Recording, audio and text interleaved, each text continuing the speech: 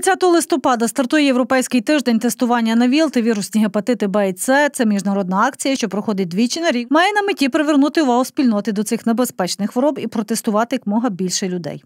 У світі більше 30 мільйонів людей з е, імунодефіцитом і більше ну, 325 мільйонів е, людей з е, гепатитом Б і С. У нас в Україні 142 тисячі на обліку позитивних ВІЛ-позитивних людей.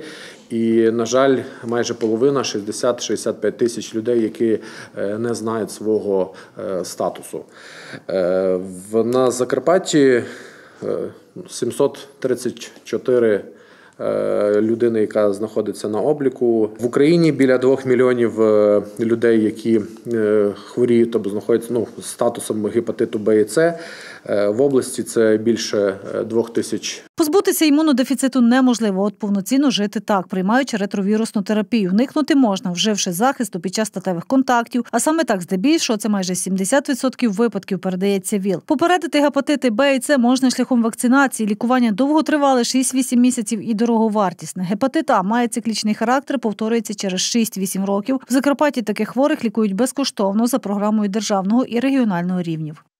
1.11.2020 року на диспансерному обліку в амбулаторно-консультативному кабінеті обласної клінічної інфекційної лікарні перебуває 2022 хворих з діагнозом хронічний вірусний гепатит. З них хронічний вірусний гепатит Б 824 хворих, Хронічний гепатит Б плюс Дельта 82 хворих, хронічний гепатит Б плюс С 40 хворих, хронічний гепатит Б плюс Д плюс С 5 хворих і хронічний вірусний гепатит С 1071 хворий.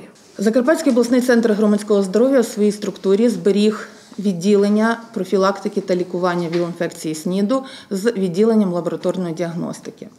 Весь комплекс діагностичних та лікувальних послуг, необхідних ВІЛ-позитивним людям, надається в закладі для жителів області в повному об'ємі. Ми впровадили е, передачу необхідних ліків для антиретровірусної терапії е, за допомогою кур'єрських служб.